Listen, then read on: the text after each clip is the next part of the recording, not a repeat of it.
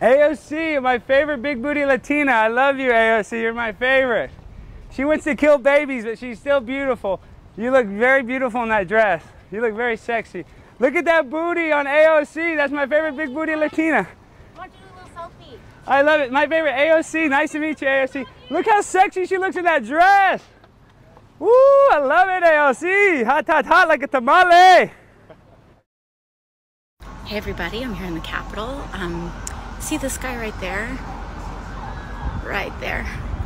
He, when I was walking up, um, he said, hey, right in front of a Capitol police officer, said, hey, uh, here's this, look at that big ass, look at that big juicy booty, this Latina, like whatever, you know, all the bunch of racist, sexist